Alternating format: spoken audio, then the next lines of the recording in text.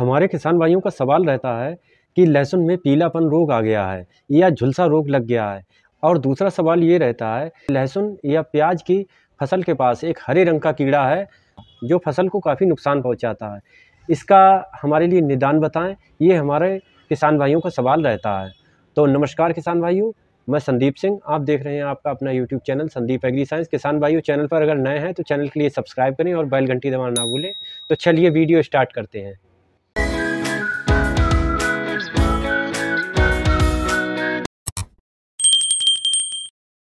किसान भाइयों, लहसुन की फ़सल में झुलसा या पीलापन रोग आ गया है तो ये एक प्रकार का रोग होता है, ये फफूंदी जनित रोग होता है। ये इसको ख़त्म करने के लिए हमें फफूंदी नाशक दवा की ज़रूरत पड़ती है। तो आज मैं आपको फफूंदी नाशक दवा के बारे में बता रहा हूँ। आपको लेना है मैनको जैब पिछहत्तर परसेंट डब्ल्यू पी। ये एक फफूंदी नाशक दवा है जो कि मार्केट में बड़े आसानी से मिल जाएगी आपके लिए। तो आपको इसकी मात्रा लेनी है दो ग्राम प्रति लीटर पानी के हिसाब से। और यह आपको लहसुन की फ़सल पर स्प्रे कर देना है इसका। याद रखने वाली बात यह है कि नमी होना चाहिए। आपकी लहसुन के खेत में जो फफूंद की वजह से जो रोग बना है, वो ख़त्म हो जाएगा इस फफूंदी नाशक से।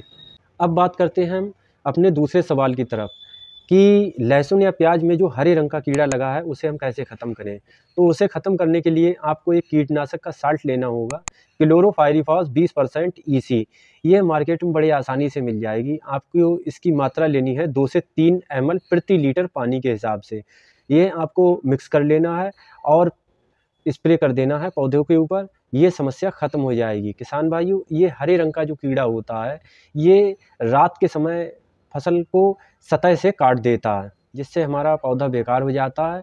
ये दिन में मालूम नहीं पड़ता है। तो जो मैंने बताया है क्लोरोफायरीफास 20 परसेंट ई इसका आप छिड़काव कर देते हैं तो इससे आपको निजात मिल जाएगी। किसान भाइयों, इन दोनों सवालों से रिलेटेड अगर आपका कोई सवाल रह गया हो तो नीचे कमेंट करके मुझसे पूछें, मैं आपको रिप्लाई दे दूँगा। वीडियो अच्छी लगी हो तो चैनल के लिए सब्सक्राइब करें और बेल घंटी दबाना ना भूलें। तो चलिए नेक्स्ट वीडियो मिलते हैं, तब तक के लिए धन्यवाद।